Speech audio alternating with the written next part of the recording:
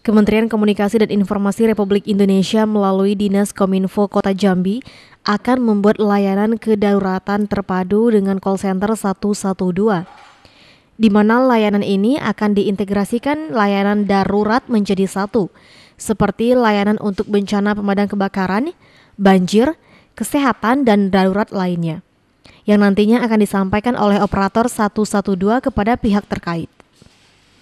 PLT Kepala Dinas Kominfo Noviardi menjelaskan bahwa saat ini layanan tersebut masih dalam proses finalisasi di tingkat kementerian.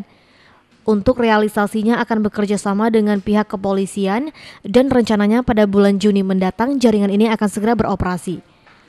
Serta untuk masalah pembayaran tarif, pemerintah kota akan menggratiskan. Layanan uh, gawat darurat hmm. itu akan diintegrasikan ke panggilan 112. Hmm. Jadi masyarakat nanti silakan uh, menekan di telepon di rumah ataupun telepon tekan 112 maka akan menjawab operator.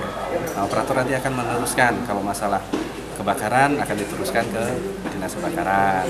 Kalau masalah kesehatan ke dinas kesehatan. Nah, ini nanti kita masih menunggu. Prosesnya masih di kementerian. Bahtiar AB, Jambi TV.